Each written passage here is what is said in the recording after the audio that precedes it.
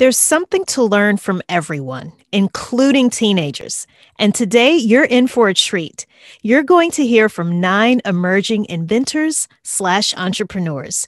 These aren't your typical high school students sitting in their STEM classes, obviously bored. No, they've combined their individual superpowers to develop a wearable technology. It involves electrical sensors to detect signs of heat related stress. Don't worry, you'll hear all about it from them. Hi, I'm Alicia Butler Pierre, and nothing makes me happier than seeing young, bright minds coming together to solve some of the world's most prevalent problems. These 10th and 11th graders are directly applying concepts from their STEM classes to perfect their product. And they've even co founded a business as part of their process to legally protect their invention. If you've been sitting on an idea and not quite sure how to legally protect it or build a business around it, then this might be just the motivation you need to get started. This is season 10, episode 128. Let's start the show. Hi there. This season, we are doing live workflow consultations. And for the first time ever, we are joined by a fairly large group of budding entrepreneurs slash inventors. And they are here, they are students at what's the name of the school, Rachna? Uh, it's Arizona College Prep Erie. It's uh, one of the public schools in Chandler Unified School District. Okay, well, I am super excited about this episode. Mm. And that was Rachna Nath that you just heard. And if her voice sounds familiar, it's because she's a friend to the show. She was on the season, she was on season 10, and she came on to talk specifically about strategies and a process that she was working through as she was preparing her students for the pandemic, teaching them and educating them through this pandemic that we're still in the midst of, unfortunately. Now, we definitely want to talk about what why the students are here. But first, Rachna, I was wondering if we could first talk a little bit more with you first. Tell us about this wonderful STEM program that you are part of, that you are teaching at your school.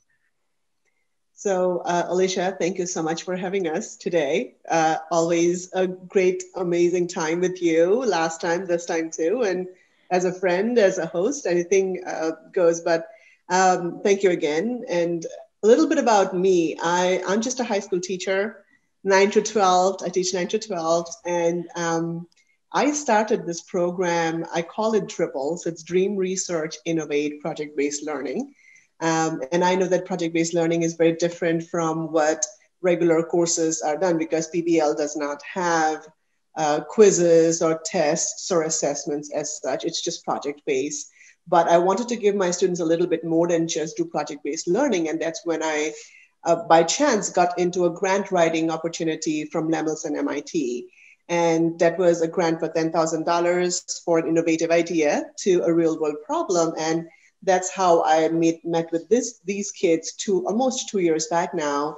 And we wrote a grant to the, the foundation, Lemelson MIT Foundation. And um, since then, it's always something or the other. I mean, always another grant opportunities to write for, and DRIBBLE goes on. So it's always, and I have had a, a lot of people, a lot of groups apply for patents, provisional patents, um, and carry their projects forward, even now, even if they have not gotten the grant that they had applied, for. So the motivation is basically to take a project from an idea to a product. Um, in however many years they can get it done in. So, yeah. And, how long have you all been working together, this particular group, the Sense Hydro group? How long have you all been working together? Has it been a year, maybe two years? It's it's been over a year now. Okay. Yes. Yeah. Okay. And so what grade is everyone in? Are you all in the same grade or they started off as um, all freshmen and uh, sophomores, and now they are sophomores and juniors because ah, of okay. So, yeah. Okay, awesome. Awesome. Well, well, thank you for letting us know first a little bit more about the program because now let's get into this Sense Hydro group. And it's a group of nine inventors and entrepreneurs, and their company is Sense Hydro. They have invented the Hydro hat. And so let's start off before we get into what your invention actually is. And you're going to walk us through the, the process that you went through for actually filing for your patent, because that's going to be very helpful for so many of our listeners. But I'd first like for each of you, one by one, to introduce yourselves. And as you introduce yourself, also tell us what your superpower is. So, Sahani, shall we start with you? Sure. Um, so my name is Sahani Sandu. I am a current junior in Arizona College Prep, and I'd say my superpower is is just being focused and keeping everyone focused. Um, we're all teenagers, and at times we can get a bit distracted, but I'm usually the one that gets everyone back on track, and I um, make sure that everyone's um, working on everything to get us where we are today. So awesome. Who wants to go next? Alex, I'm going to put you on the spot. Sure. Uh, hi, my name is Alex. Um, I am a 10th grader at Arizona College Prep. And I would say my superpower is kind of like being able to communicate with everybody and relating to everybody a little bit so that I can kind of like understand where everyone's uh, at and how they're uh, feeling and working. That is so important in business life and in all aspects and facets of life as well as business. So, Caitlin, you're up next. Hello, I'm Caitlin Lay, and I'm a junior at Arizona College Prep. And I would say that my superpower would be just being organized, being attentive to detail to make sure we hit all those check boxes on all of our, I guess, grants we apply to. Awesome. Abe?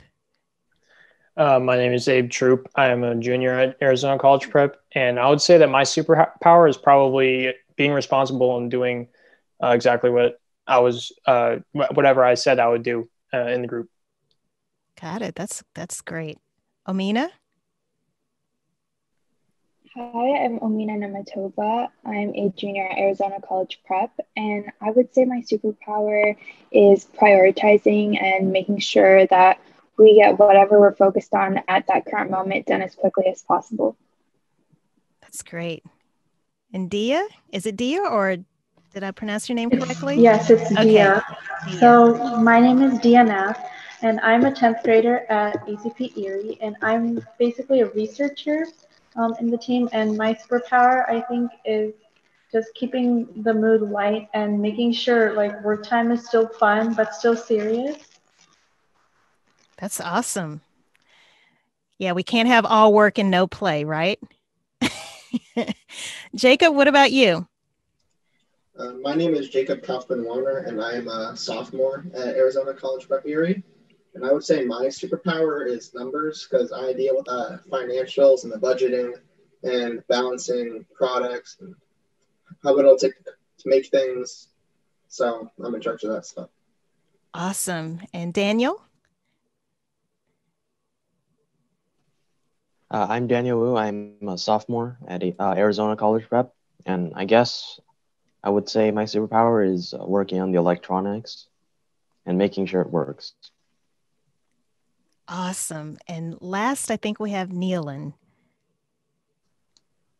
Uh, my name is Neelan. I also go to Arizona College Prep. I'm a sophomore. I would say my superpower would be to know the science behind anything that I have a question for because I've always really liked science. Well, awesome. Thank you all for introducing yourselves. Now, let's get into your actual invention, which is the Hydro Hat. So, do you have an official spokesperson for your group who can tell us more about what the Hydro Hat is? Sure. So um, I can go ahead and explain it a bit. Okay. Uh, so basically, the Hydro Hat is a wearable device that we created um, that detects and prevents heat stress um, using the uh, wearer's vitals, um, so such as um, their heart rate, pulse, temperature, all of those um, good stuff. So it uses those and it, it puts that through a system that we created that basically um, uses that information and warns the user in case they are um, close to getting heat stress or heat stroke. Um, it can be adapted to multiple forms. So um, right now we're working on the hat, but it can also be adapted to rings or anklets or any sort of wearable um, that mm. an individual would want to use.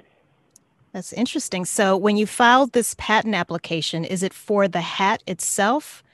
And is that applic- is that application written in a manner to be ex- expanded or to include other types of wearable technologies? Definitely. So for majority of the patent, we focused on the hat aspect since that's what we are prototyping right now. But near the bottom of the um, actual application, we there is a section called embodiments, other embodiments, and that's basically where you just list out any other possible ways you could use technology you created in other forms. So that would be the rings or the anklets or any other thing that we wanted to create. We just listed it down down there so it'd be protected in the future. Okay, awesome. Well, let's let's go ahead and take a look at your website. And if you could tell me what the URL is so that I can make sure I go there. What's the website? Um, the website is sensehydro.weebly.com. Okay, sense hydro. Whoops. Dot weebly.com. Dot com. Mm-hmm. Okay. Perfect. And that was Omina, everyone. Okay, so we're at the Sense Hydro website. And again, that's sensehydro.weebly, which is W E E B L Y dot com. So cool looking website. Who designed the website? Um, it was a um, group effort with Neelan, Daniel, Sohani, and I. Um, and once the basics were done, um, Sohani and I went into um, make it more user friendly and for our information to be more easily available.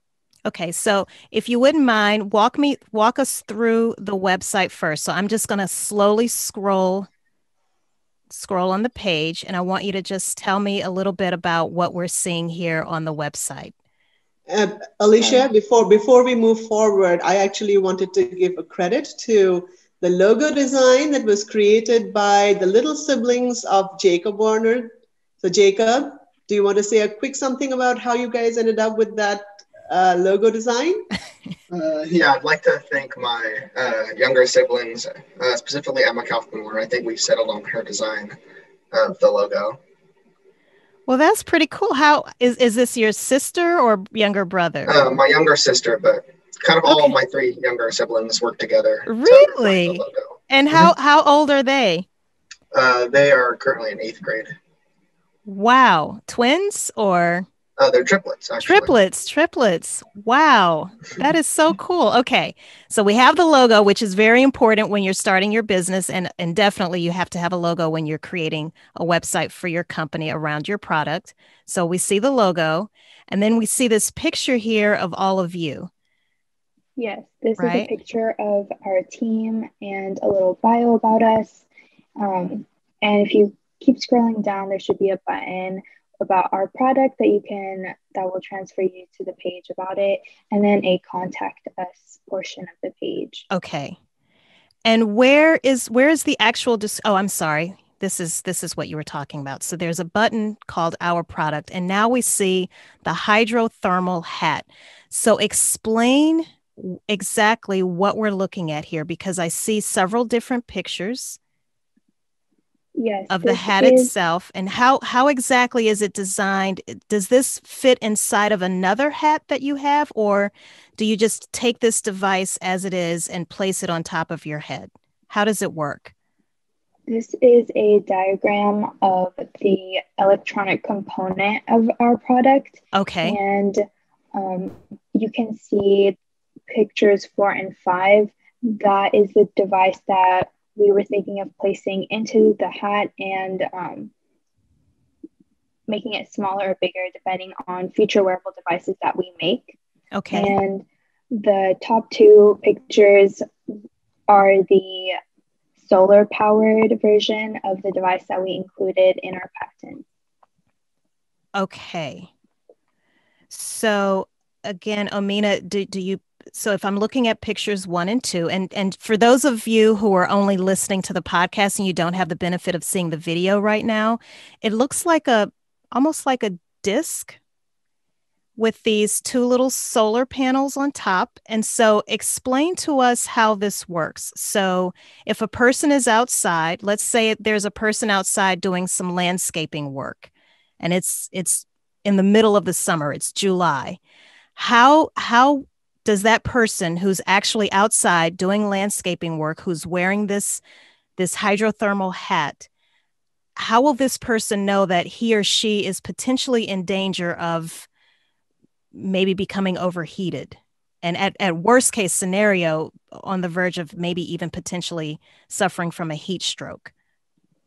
So the device that you see here has multiple sensors in it that um, we combine the data from to then determine and keep track of the person's likelihood of heat stress or heat stroke.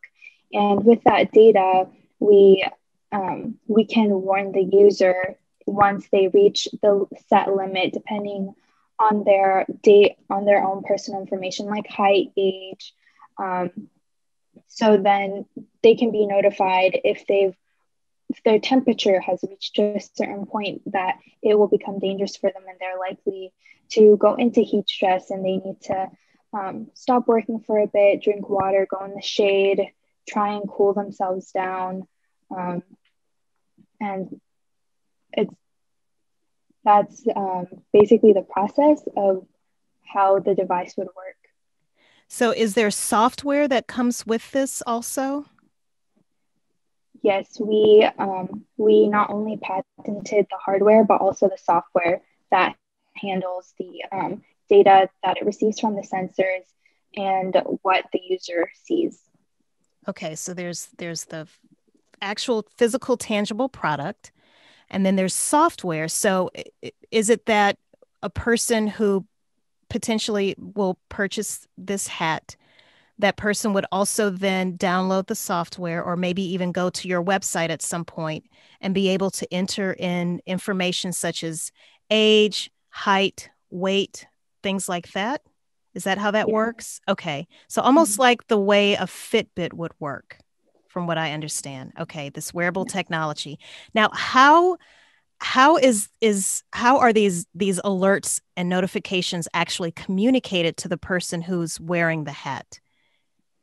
Um, when we were brainstorming this process and looking into how the software would work, we were thinking of making an app to go along with the product so okay. then they would receive notifications through that app. Ah, okay that makes sense. So that person would potentially have the phone near them, maybe in a, in their mm-hmm. pocket or something like that, and they would receive a notification or some type of an alert that would pop up on the screen. Okay, okay. Uh, and I don't know, you know, I don't want to, you know, potentially ask you any of you to talk about something that that might divulge too much information about your technology, but can you explain to us a little bit more about these sensors and how they work? Um, well, the sensors that are included in the device are a thermometer, a pulse meter, and an accelerometer. And the thermometer monitors the user's temperature, the pulse meter, the, um, the user's pulse, and then the accelerometer actually measures the elevation. And the reasoning behind this sensor is the threat of someone fainting. And yes. the accelerometer would be able to determine whether by change of elevation, whether a person has fainted. And of course, we also took into account maybe someone is um, going down to pick something up or they um, they're doing physical labor so they're carrying stuff around and um, going up or downstairs. Um, so we made sure to take that into account when um, thinking of the software. Okay, that makes a lot of sense. And I'm going to show share something with all of you really quickly. This was something that my husband had. It, it's it's a piece of uh, terry cloth made in the shape of a a hat. So when I found out about your hydrothermal hat, I was thinking, okay, he definitely needs that because this is what he wears when he goes outside and does yard work. And so it's a far cry from what you all have invented. But the, the reason he put this on was so that it could absorb the sweat and to help keep his body cool.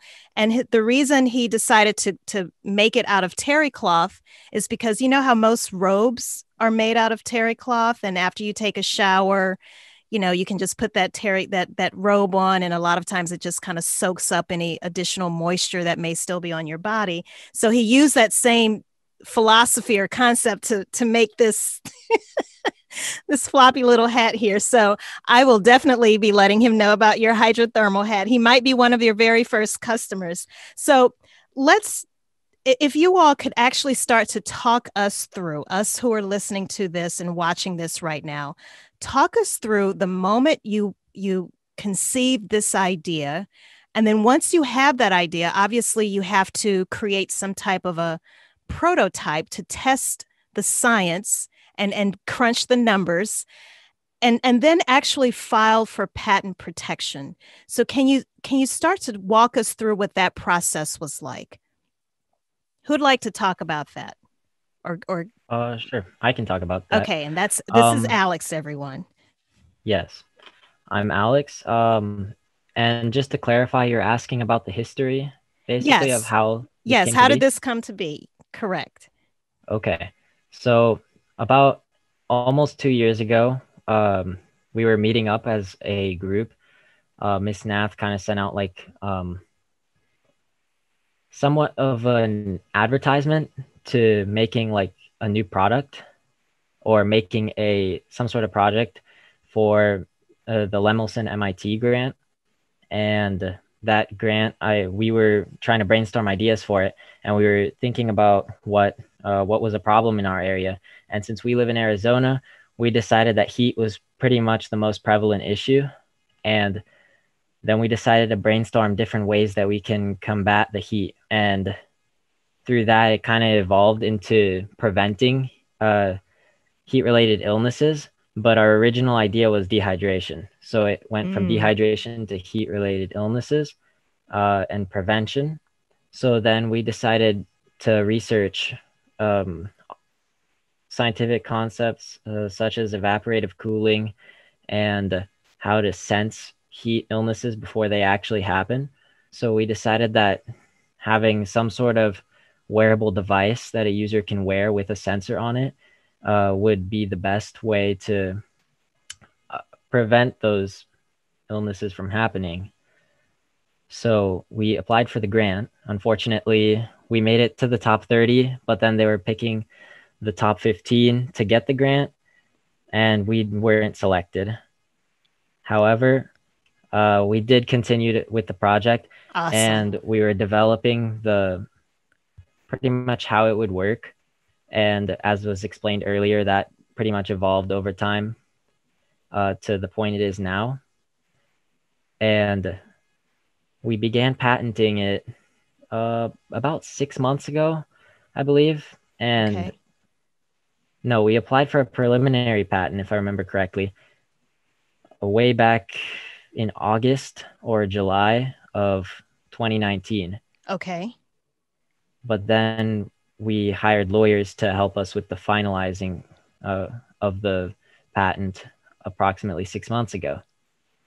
And do you remember what type of patent application? Because for those for those who are listening and watching, and they they may not realize this, but I know there are utility patents and then there are the design patents. So did you file both?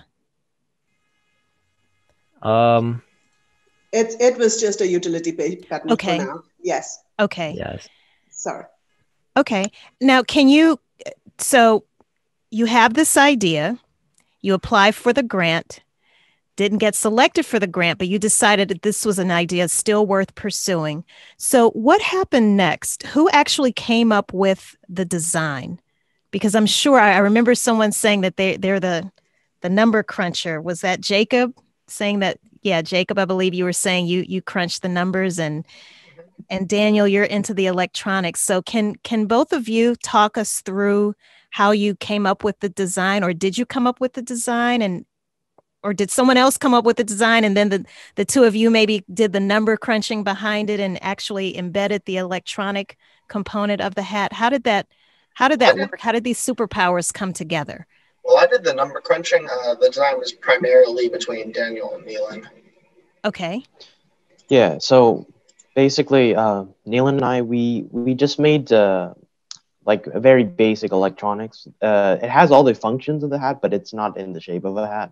Okay. Uh, we used uh, Arduino for the electronics just to make sure. Uh, well, as a, I don't even know if you would call it a prototype, but along those lines. Okay, just to to see that it to make sure that it would work, right? That was the most important thing. And Neelan, did you did you want to say anything about your contribution to the design and, and the electronic piece? Yeah, so we also use 3D modeling software to come up with a general design and where things would go on the hat and stuff like that.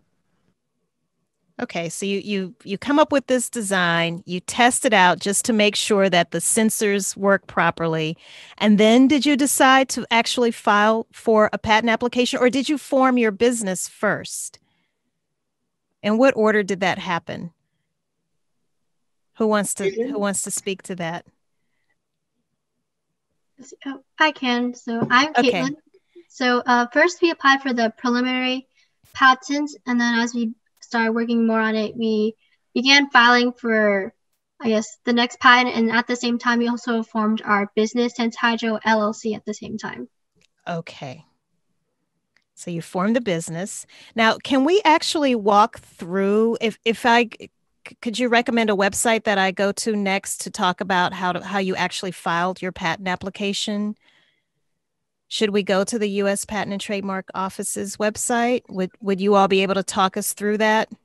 Because there may be people who are listening or watching this right now who have no idea where to even begin. So, uh, Alicia, uh, this is Rachna again. I, I will. I'll actually want to add a few things before we go to the next stage because Okay, sure. Daniel, yeah, Daniel and Neelan, they are too humble to actually say I'm what sure, they I'm sure. did.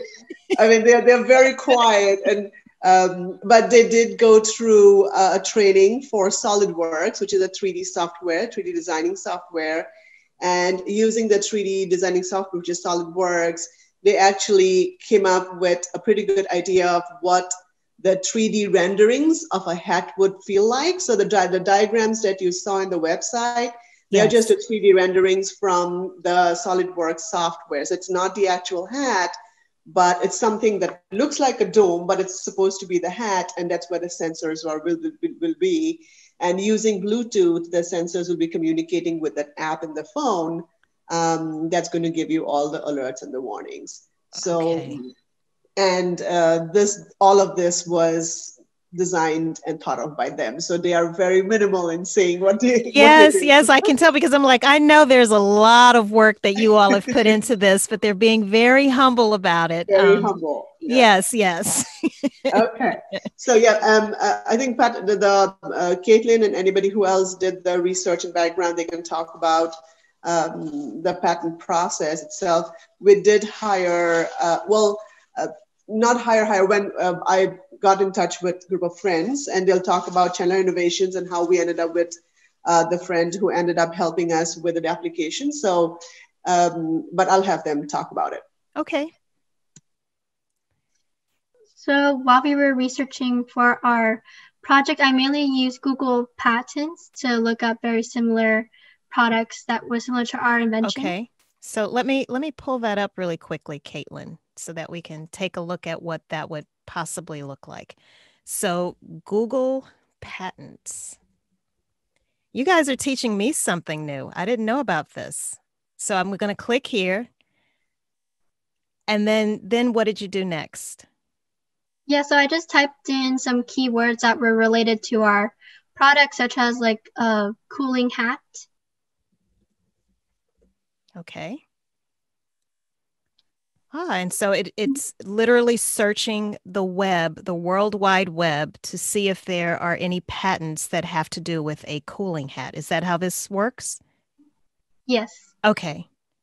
Oh, look yeah, and I would yeah, and I would just go through the website and just sort of like read up on any products that were similar to ours and how ours would be different Very- and how we could improve our invention as well. Yes. So, I mean, I'm sure you must have come up with how many, how many, uh, res- how many patents came up in your in your search results. I would imagine there would would have been several. did you go through each of those or did you use a divide and conquer strategy where you looked at all of them and told the rest of your your teammates or your business partners, "Hey, I'm going to look at the first 10, you look at the next 10." How did that how did that work? Yeah, so I just mainly looked at the first couple of pages and I also worked with Dia on this as well, so she can also add to um, how we researched all these different patents. Okay. Hi, so I'm Dia Nath, and uh, like Caitlin said, we both worked on this. And basically, what we uh, did was both um, look through a few patents and um, basically compare ours and how ours was better than theirs, which is um, key to um, why people would buy our product. Because if um, if ours is like not better, then they will. Then why would they buy our product? So that's something we really focused on is um, looking at um, other cooling hats and comparing them to ours, um, comparing them to our invention and saying why ours is better and why you should buy ours. And so that was basically part of our background research, competitive technologies. Okay. Okay. And so once you realized what your, I guess what we would call in the business world, what your competitive advantage or your key differentiating factor was or is, did you then discuss that with the rest of the team? And then collectively, you all decided to pursue patent protection? Yes, of course. Um, uh, we just talked to our team and see how we could improve our product and how we can adapt it um, for our competition. And at the beginning of the prod of the of the project, we were planning on on applying for a patent well. Okay, so you realize what makes your your cooling hat different and better to your point. And so then did you did you then go to the US patent and trademark office to actually file or begin the the process of filing your patent application? What was what was your next step? Um actually uh so hani and i worked on that as well and i think we um looked at the us patent and trademark office as well okay research. so let's let's go to that website i think it's uspto.gov i believe is the site i'm going off of memory here okay yes that's it and so did you it sounds like you all filed was it a provisional patent application I always get confused over provisional and non-provisional. So is it provisional that you file first when just to bide yourselves enough time before you submit the real patent application? Yes, exactly. So, oh, I'm Sohani, by the way. So, um, basically, um, you file a provisional first. So we filed that back in, I believe, August 2019. Okay. And that basically gives you a year to research um, and really look into the project and see if it's actually worth filing a non-provisional or a non-provisional for. Um, so after a year of research, we uh, went ahead and filed for the non-provisional, and that's basically like the permanent patent that everyone thinks of when they say patent. That's like the permanent um, thing that extends for years and years and years. Um, so yeah, we once you file the um, the the non-provisional is much more complex than the actual provisional, uh, mm-hmm. the provisional patent. Um, the provisional patent is mainly just like a basic summary of what you want to um, research in the next year. It has basic details, not really in depth, a couple of diagrams, not many. But when you get into the actual non-provisional patent, uh, the the detail um, it increases tenfold. Um, so you have pages and pages of just different embodiments that you'd have to possibly uh, look into, or different details, different like all the different parts, uh, multiple different diagrams, um, and other parts of the application that makes it much more complex. Um, so the provisional is always suggested beforehand, just so you can research the project and actually make sure you want to spend um, more time and more money on the actual um, non-provisional, since the non-provisional uh, costs much more and it takes much more time. Now, I think I re- remember, Rachna, you were saying that you all did enlist the counsel of an actual patent attorney in preparing for the, the non provisional application. Is that correct? Um, absolutely, you're right, Alicia. So um, I'll do a quick uh, roundup of what we did. Um, when we uh, ended up figuring out what we're going to work on relating to heat stress, um, I invited all the parents over of all of these um, students and said, hey, this is something that the students have been doing uh, background research on. Looks like there is no other product available in the market. So um, before we even go and start talking about this with other people, I would want the idea protected. So we filed a provisional application. The provisional application is just a placeholder that um, if there is a competitor uh, that is filing at the same date, if we file a little bit early, then the patent becomes ours. So it's a placeholder. So that placeholder gives us that um, freedom to not just talk research and look more into the product that we want to do, but also gives us a one year time frame uh, so that we can sort out all the kings, build prototypes, do whatever we want with it. Um, and then um, also reach out to the public for funding, uh, resources that we can get, uh, but still have the idea protected because once it gets into the public, um, it, it's, it's difficult not to get quickly replicated, uh, especially with big companies that can quickly do something like that. Sure. And for me, I always wanted the ideas of my students protected. So I so we ended up filing a provisional patent quickly, and then um, after that, we ended up reaching out to uh, potential customers that could be potentially using the HydroHat. So the students uh, went ahead and talked to old age homes, hikers, community workers, construction workers, and talked about what they are doing at this point to reduce their heat stress versus what if what will they be doing or will they even be interested in buying uh, a hydro hat that is probably going to cost like 40 50 dollars um, and that was just uh, you know a wild uh, guess as to how much it's going to cost but again just needed some d- data on it sure. so the, the the the consumers feedback was very important as to how um, and what they going, they're going to do, and also the bulkiness of the prototype versus you know the effectiveness of the prototype. Is there a demand in the market for such a, a device? That's what they all sorted it out. Um, so the groups were all divided into one of them was some groups were doing background research on is there something available like that some of them were thinking about potential ways to make it more unique um, and a group of people were working on the marketing strategies jacob was there figuring out oh my god I'm going to be out of budget right now. So we don't have any money. So versus, uh, and again, the whole thing came together in a way, and we had um, mentors who actually came and helped us too. One of the mentors is a very close friend of mine. He is the head of cybersecurity in, uh, in Resideo right now, Dr. Raj Rajagopalan. So uh, he came and mentored the kids. Um, there were other um, friends who mentored the kids, like the, the uh, um, his name is Atmanathan, Atom Atmanathan. He is actually one of, um, he's a dad of one of my students who was also in this group, but unfortunately she moved out to another school. But he works in microchip, so I had him. Um, Dr. Jeff LaBelle, who is a renowned scientist and a renowned innovator.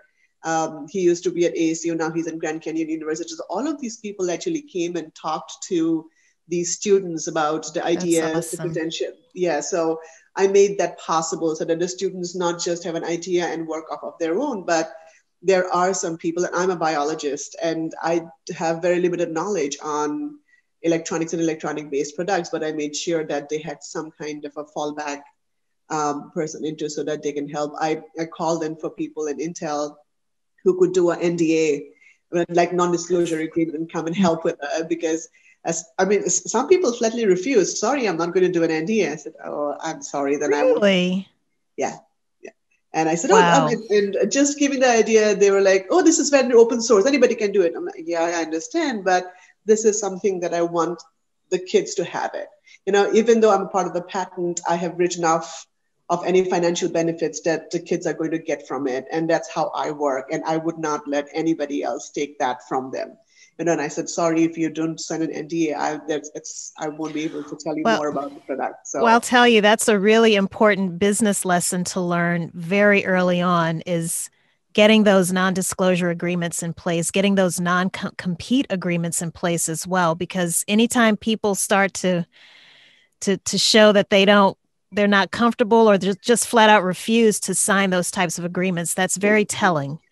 Right. So right. Um, so that's great mm. lesson to learn up front. And and this is actually a great segue into the next question that I want to ask all of you. So we've been talking about this process from ideation to actual product product product prototyping, excuse me, and then on to filing your actual patent application. Now you've you're walking us through this process, and that's just one element of what I call business infrastructure. Does in, does anyone want to take a crack at what business infrastructure actually is?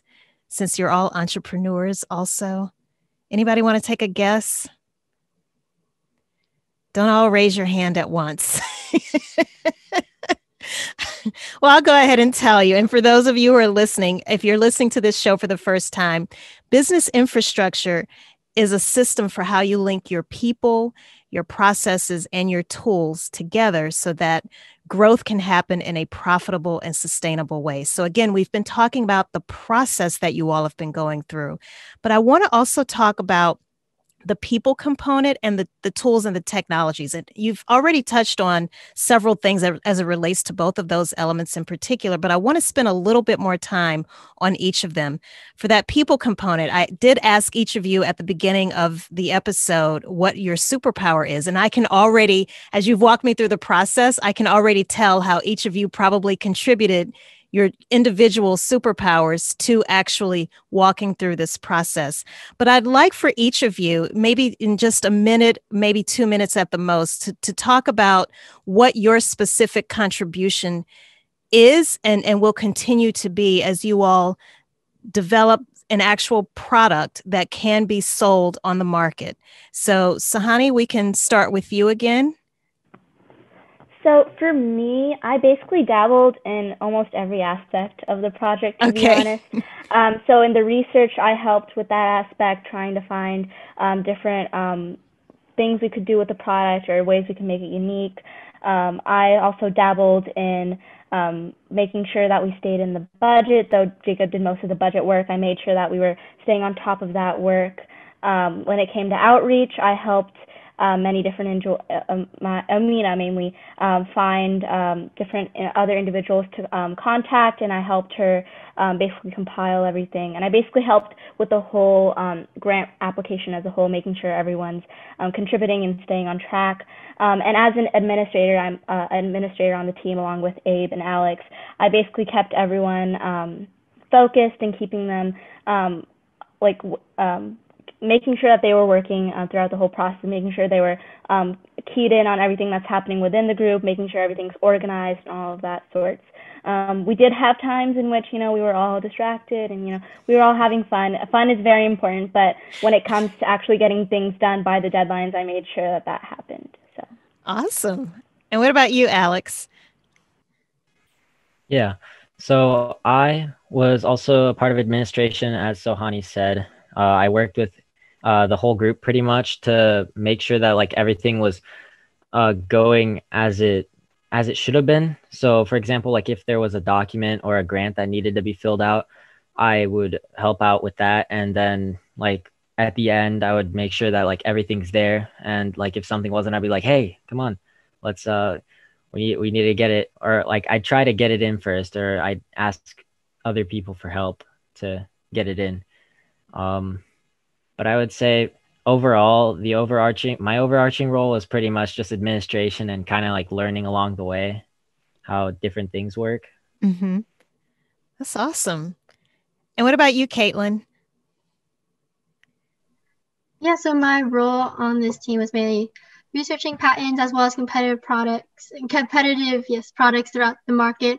And I guess my role would also apply once we finish the prototype and start selling it as well in the future.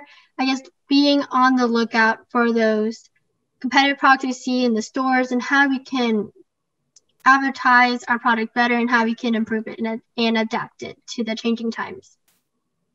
That's awesome because uh, there's always going to be competition. So it's it's great that you're doing that kind of research. And what about you, Abe? Uh, I was also part of the administration team. Um, but I also made one of the early logo designs for our uh, company that wasn't it's not used uh, as of right now.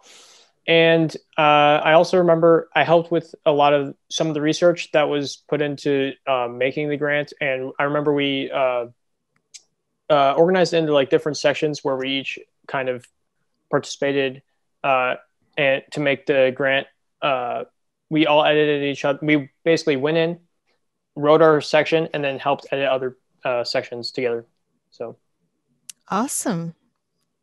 And Amina, how about you?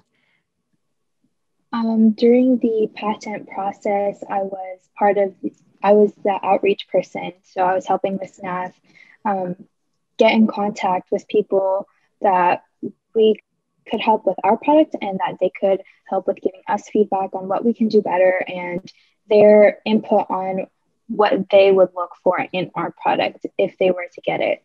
Um, and I made sure we kept track of all the people that we did outreach with, contact information. Um, I was the one that was annoying the rest of the team. I need your pictures. I need a bio, a title. Tell me what you want um, with the website. And as we continue with the company and going into um, selling the product, I will go more into social media marketing and I would make sure that our name stays out there, everyone knows what we're doing, and also help promote different um, products that might come out in the future and um, just having our um, place in social media. Awesome. And that is so important to have that social media presence. And the fact that you're building that already before the product is out, it, it kind of helps to build up that anticipation. And that way, once your product is actually launched, you're going to already have this this community of raving fans who've been eagerly anticipating the release and the launch of of the product. So that's that's fantastic. Dia, what about you? Um, hi, so this is Dia, and I I'm basically a researcher mainly um, and contributing to research with Caitlin and studying different uh, competitive technologies in the market. And um, we also looked at like weight when we started our uh, when we started uh, this uh, patent process.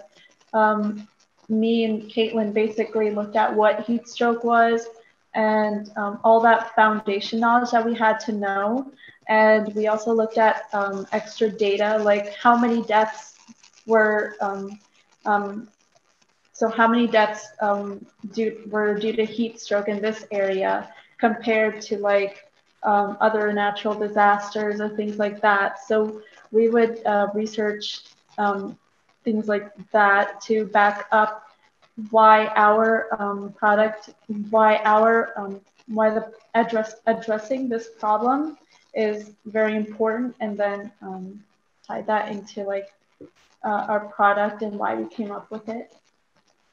And that's important too because that's a lot of times what you'll you'll hear marketers talk about is understanding your why. In other words what's the purpose and the reasoning and the rationale behind your products so that's that's really important to have that to know your why and to know the story behind your why.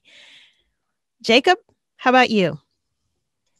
Uh, well, I was in charge of financials, like when we originally filed for our uh, the MIT grant. When we started our project, I was in charge of making the budget and like managing our. The grant was like ten thousand dollars and splitting it between like however many categories for like supplies for electronics and office and storage. Mm-hmm. And so after that, when that fell through, I would uh, did work on fundraising money and for the club and creating an account.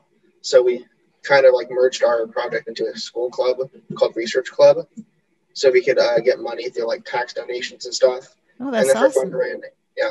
And then for fundraising, uh, one time we planned for to be at a school soccer game and sell concessions to make money for our group. So currently, I'm in charge of uh, the account for the project and raising money to do stuff. So you know all too well that you can have the best product in the world, but if you don't have the money to get it out there, to get it developed and and marketed, and the business of being in of of having that product, uh, it's it's just not going to happen. So, again, another great lesson to learn very early on. Yeah, we Alicia, I want I want to add I want to add something to what Jacob did. It's a really funny story. So um, I don't I don't know if he remembers it because our total grant budget was around ten thousand dollars, um, and then we had to account for all the ten thousand dollars, and uh, he could not come up with what we are going to need for ten thousand dollars. And I said, think again. it's going to fly Yeah, over. It can go very quickly. Yeah, and and and and and that made me uh, realize that oh my God, these are high school kids who have never ever dealt with money like that. And ten thousand dollars is a big sum for them. Mhm. And he he I think came up with. I mean, somehow he came up with five thousand dollars, and I'm like, no, Jacob, we need ten thousand dollars. Double all. you remember that, Jacob? Yeah. And And I think the funny thing is, looking back now, ten thousand dollars doesn't seem like a whole lot, even though it was a lot back then. and, and, and now they, it's like we need were, more money. Yeah, and they were arguing with me, Mrs. Nath. I just we just need to bring by one sensor of, uh, I mean, a pulse meter, one of this and one of that, and I think we should be done with the prototype. I'm like, what are you talking about? Oh yeah, we need a lot more. So they have learned a lot. They've Oh, that's lot. awesome. That's For awesome. sure. Yes. So when you look at some of these websites, these crowdfunding websites, for example, like Kickstarter or GoFundMe, if you look at other technologies that are trying to raise money, you can see they're they're asking for a lot more than ten thousand dollars, right? Um, and that money can go very, very, very quickly. So Daniel, let's move on to you.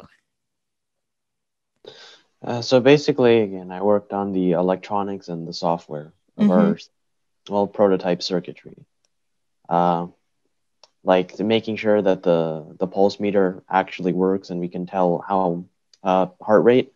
Uh, and in the future, uh, uh, once we actually get a prototype, including like the hat frame, I will uh, I'll work on improving and uh, let's say optimizing the software and the circuitry.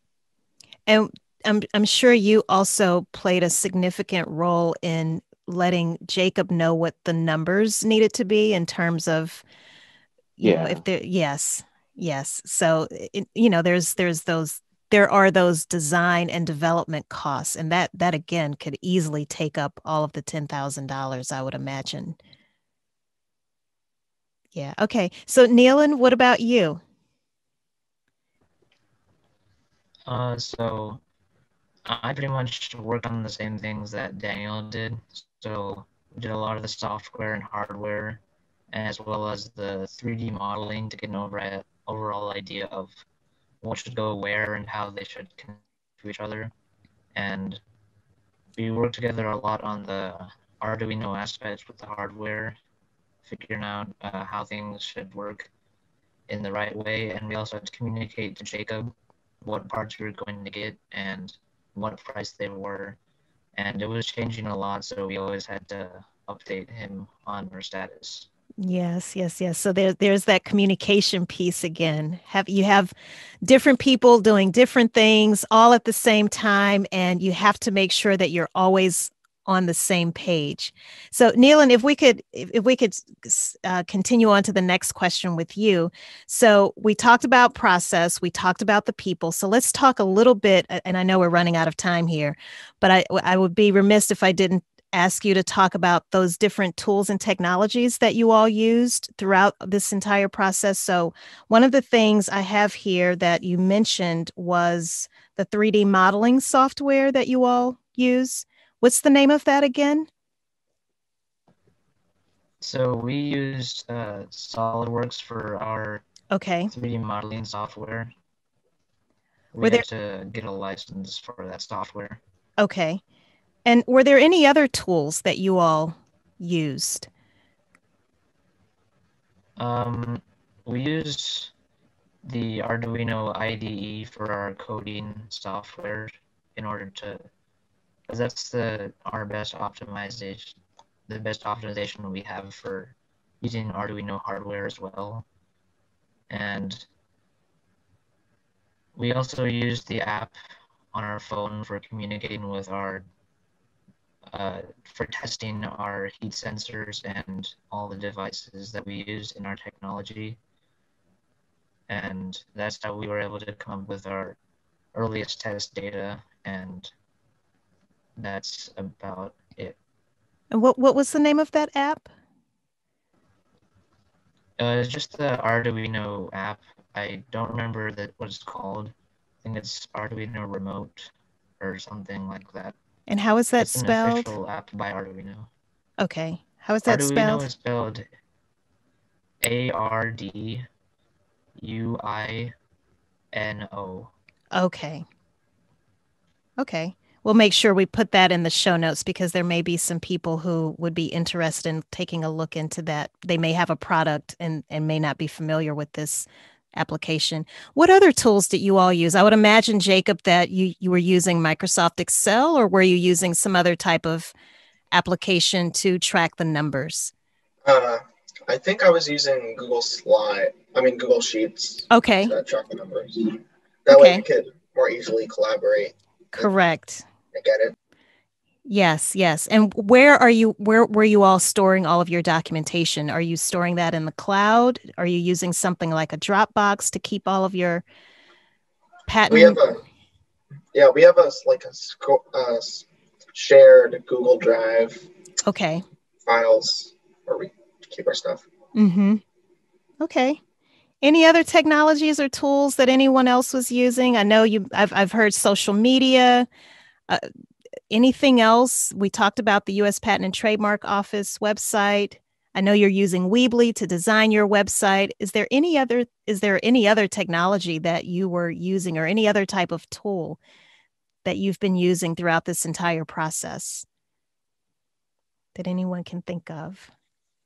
Uh, th- I don't know if this would really count, but we I know we used uh, to stay uh, in touch with what everybody was doing and uh, keep on communicating. We used WhatsApp, uh, just like a group text, uh, make sure everybody's up to date on what everybody's doing. Yes, yes. Are you all familiar with Slack? That might be a really great one for you all to look into also. Check out Slack. It's a free app and it allows you to to organize all of your communications into different channels or threads.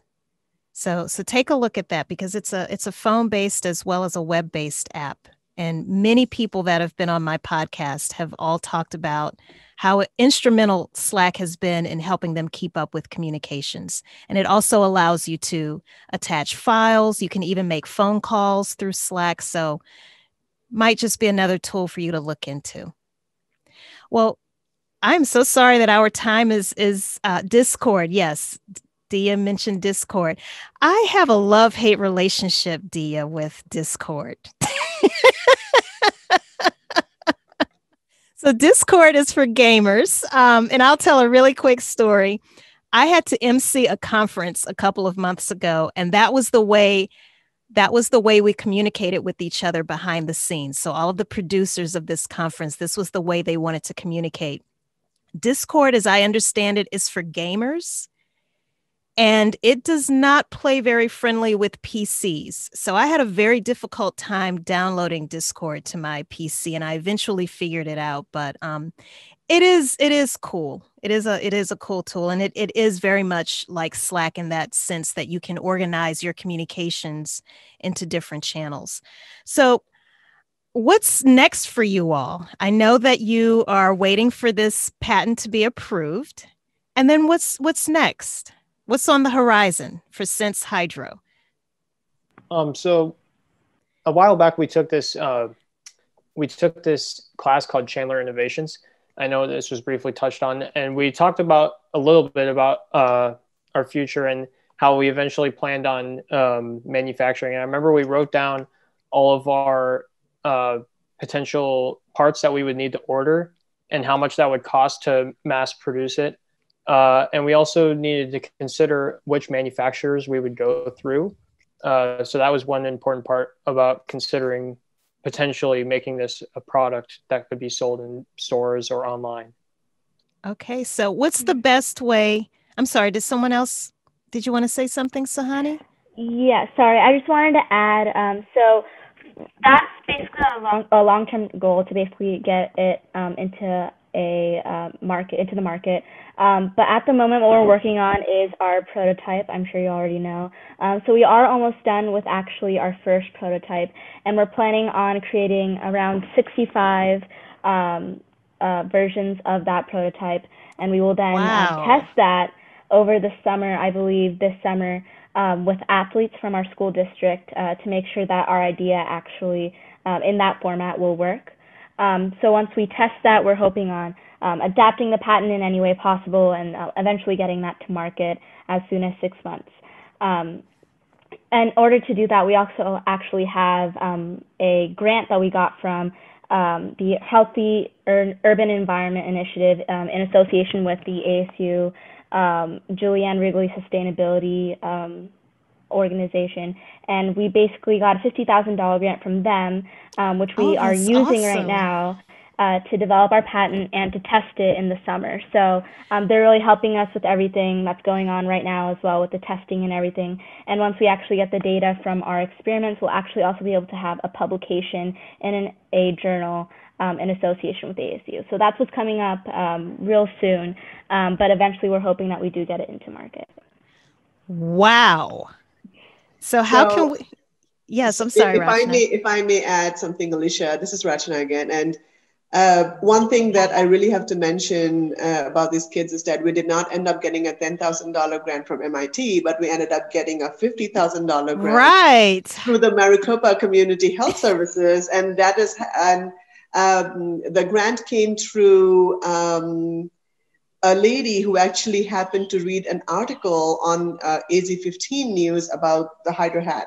So they did get publicity a lot about being in an MIT program, but someone else picked it up, invited us over for a conference, and then we ended up applying for a grant for 50,000. We also ended up getting the Intel 40 for 40 grant um, and a couple of other things that we were writing for, but uh, again, hats off to these students for you know rising up tall yes. from yes um, the struggles that they had. The I mean, it was a huge disappointment not getting that MIT grant, but then they continued to thrive, they continued to rise, they continued to persevere. So, and that is the spirit of a true entrepreneur. Yes. You know, you're down, but you're never out. So, Congratulations to all of you. This is so impressive. I'm so proud of all of you. And I love that you each, again, we talked about your superpowers and how you're bringing your superpowers together collectively to create something that is definitely needed. So, what is the best way for people to keep in touch with what SenseHydro has going on? Is is it going to the website? Do you have some type of a, a, list that you're starting to collect so that you can keep in touch with people and we can stay abreast of any new developments from your company? Yes. So this is Alex again. Um, but we will be, we're uh, pretty much going to try to be more active on social media such as Instagram. Okay. And we will be updating our website uh, frequently to be able to kind of keep customers updated with what's going on. Okay. Awesome. Now, if I'm going off of memory here, but I remember on the website there was a form that you could fill out. So if I were to fill out that form, would that would I get added to a list of some sort? That would go to our that would go to our business email okay. That uh, we exclusively use. I am not sure at the moment whether we have like a list that we have like subscription like you get notified for what's going on with our company. I don't mm-hmm. believe we have one of those but it would be beneficial to implement that in the future. And as for our instagram um, I, I I would like to plug it. It's the name of our company. It's SenseHydro. Okay. So you can follow that on Insta on Instagram. Okay. If you'd like. And our Twitter, I believe, same thing. Okay, so Instagram but, and Twitter, the handle is at Sense Hydro, and that's S E N S E H Y D R O, right? Yes. Okay. All right. Well, Sohani, Alex, Caitlin, Abe, Amina, Dia, Jacob, Daniel, Nate, Neelan, Rachna, thank you all so much for coming on to this show and for allowing yourselves to be vulnerable, which is so important. And I think many people who will watch this, because I'm sure that most people who will see this will be older, but they'll think to themselves, wow, if these 10th and 11th graders can do this, then what on earth am I waiting on? So, thank you for walking us through your process, how you came up with this idea. Even though you applied for that original grant for $10,000, you you know, you didn't win it, but you didn't let that stop you. You definitely didn't let it deter you. And now look at what's happened. You've filed for a patent, an actual non provisional patent. And now you've been awarded this $50,000 grant. And I know there's so many more good things to come your way. So if there's anything that I can do to continue to support and spread the word, please let me know. Thank you. Thank you, Alicia. Thank you for this opportunity. Thank you so much. Uh, Let's recap the process for legally protecting your idea. First, formalize your idea by writing it down on paper. Next, search for any competing patents. Doing that one step alone will go a long way as you prepare for step three, which is seeking counsel from a patent attorney. After that, you want to make sure you seek mentors with different areas of expertise and ask if they can serve on your advisory board. Next, understand, based on the counsel you've sought from your attorney as well as your mentors, whether patent protection is really the route that you should take. Next, consider filing a provisional patent application if you need more time to flesh out your idea. If not, then go ahead to step number seven, which is filing a non provisional patent application once you're ready for actual legal protection. Next, think about everyone's superpower on your team and delegate responsibilities accordingly. Make sure you hold each other accountable by setting timelines and being realistic about expectations. And last and probably most important in all of this is making sure you get those non disclosure agreements signed. People will steal ideas, yes, even from children, Sad, but true. Let's all get a quick smile here because I am going to have a screenshot so that we know for our cover artwork for this podcast. So, one, two, three, just a quick smile. Okay, thanks everybody. Thank you all so much again, and um, we I look forward to having you all back on the show so that we can make sure we check in on your progress and see what's what's happening. Thank you. Thank you so much, Alicia. Appreciate that. Victor Hugo said, Nothing is more powerful than an idea whose time has come. Well, the time is definitely now for SenseHydro and their HydroHat. With the number of heat related deaths continuously rising, the sooner their product is available on the market, the better. And rest assured, my husband and I will be some of their first customers. I wonder how soon SenseHydro's patent will be awarded. What product will they develop next? Or will they develop the phone app next? Maybe they'll develop them simultaneously. Hmm, I wonder. What do you think? There's only one way to find out. Head on over to businessinfrastructure.tv where you can find out how to follow SenseHydro's progress, as well as access links to the resources they shared. While you're there, be sure to subscribe to this podcast and to our YouTube channel.